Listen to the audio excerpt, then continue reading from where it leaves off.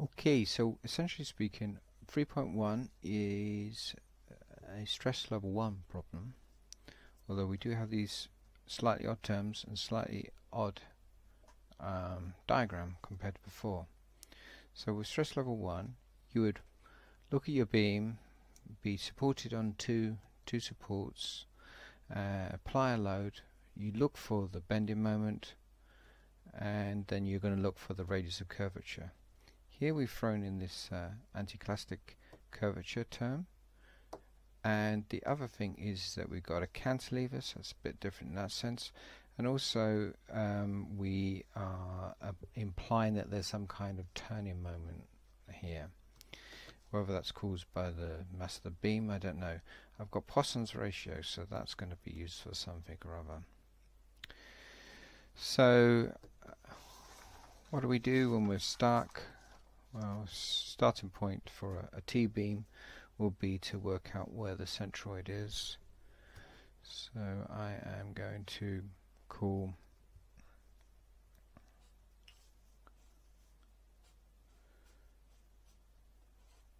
bottom bit will be my uh, bottom section and then top section uh, to work out centroids I will do y bar or neutral axis which is sum of areas for their particular sections divided by uh, their particular centroids divided by the sum of areas. For area 1 got dimensions 30 by 40 so area 1 is going to be 100 1200 area 2 here we've got 9 whoops, here we've got 90 by 20 so that works out to be 1800 area 1 1200 multiplied by its centroid which will be here so that will be 20 area 2 1800 multiplied by its centroid. So we've got 40 millimeters plus 10 so that'd be 50 so the y bar is going to be 12 0 0 times 20 plus 18 0 0 times 50 divided by 1 2 0 0 plus 1 6 0 0 and get a nice number 38 millimeters and that's obviously coming from the base right so that takes us into the the T-bar section as we'd expect, the upper bar section. Or does it? No, it doesn't. No, it doesn't. It, uh, we're still below, just a tad below. It's 40 millimeters long, the bottom section. Okay, so we found the Y bar. Why are we finding the Y bar? So we can find I. So sum of BD to the power of 3 sections divided by 12 plus AH squared. Right, so we got uh, 12, lower section is 30 times by 40 to the power of 3 plus its area 30 times 40 Okay, and now what about H? Well, this is 20. So, so I've got H is going to be 38, take away 20, so that's 18. That's my first bit. Now for the second bit, uh, 12 its width is 90, its depth is 20 to the power 3, its area is 90 times 20, and what's its h? So to get there was 50, to get to this centroid here is 50, take away 38 and that will give me the h value.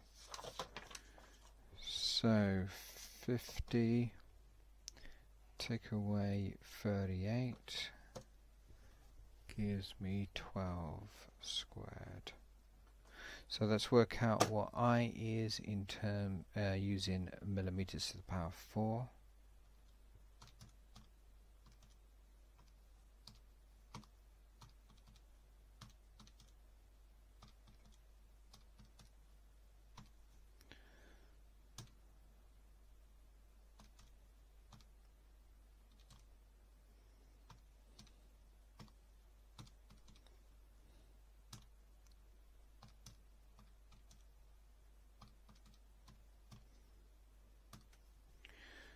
So 8, 6, 8 times 10 to the 3, and that's millimeters to the power 4.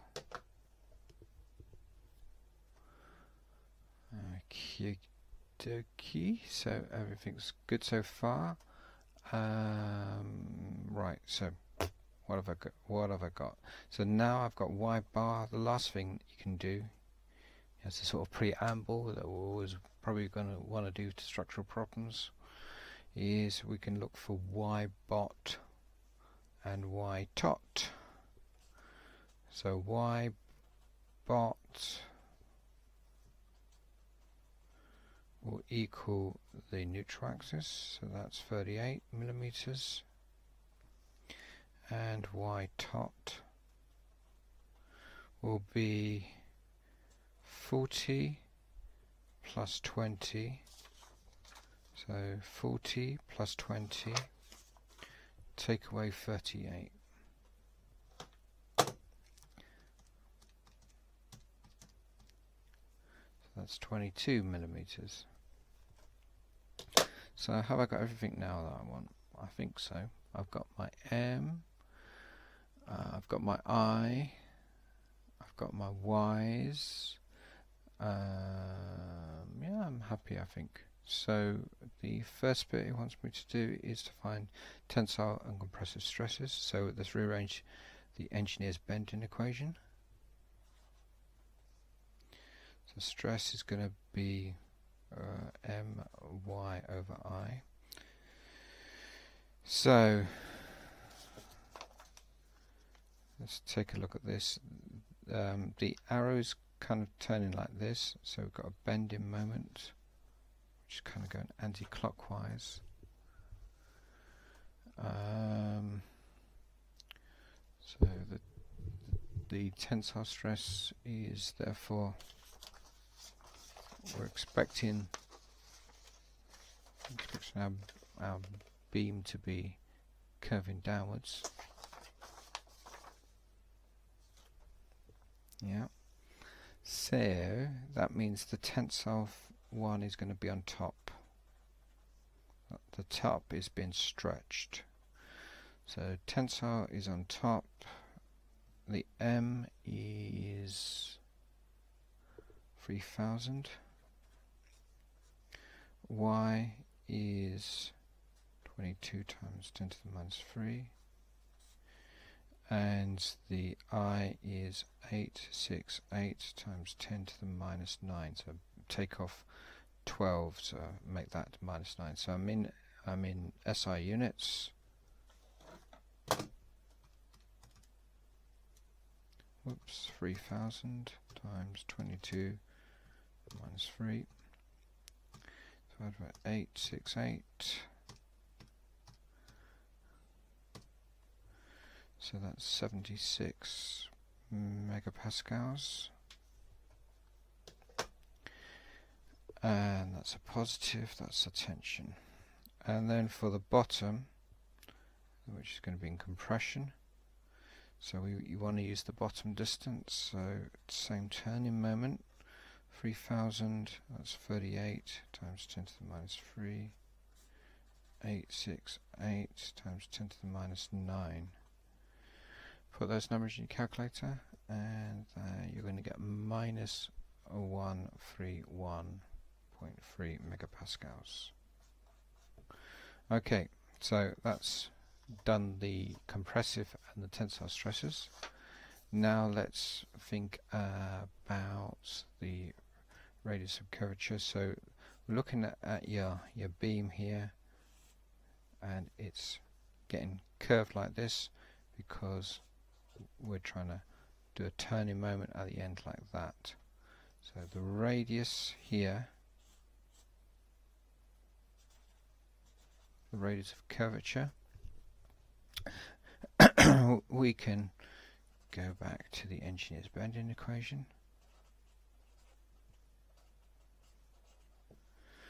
And I suppose uh, the closest thing to the raw data is going to be uh, using the M and the I. So R equals, bring this up, E.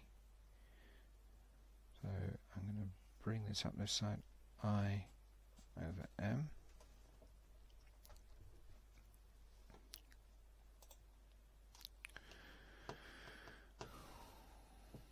Okay. I think that's fine. So stick in your numbers. Uh, what have we got for E? 190.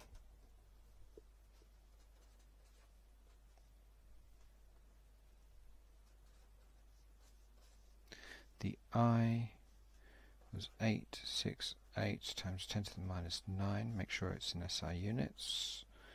So my final answer will be in meters and my M was 3000. Yeah. Oh dear, watch out. I've got that wrong.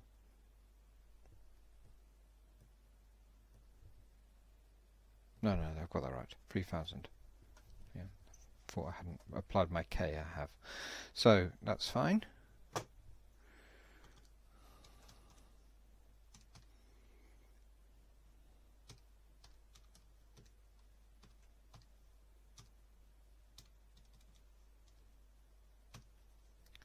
So, oh god, yeah, a big, big number. 54.97 meters, so therefore, let's say 55 amongst friends. So, trying to fit a curve around this, you're going to have to go way away away from, from the beam to try and fit a curve, circle around that deflection. For the last part, the anticlastic curvature, well, what you've got to do, imagine, is look at the beam from uh, from the side. Yeah, so look at, we're looking at the cross section. So we're going to be pulling the beam around, which means we're this top bit is getting stretched as I'm sort of going off in this direction. This is going to get compressed.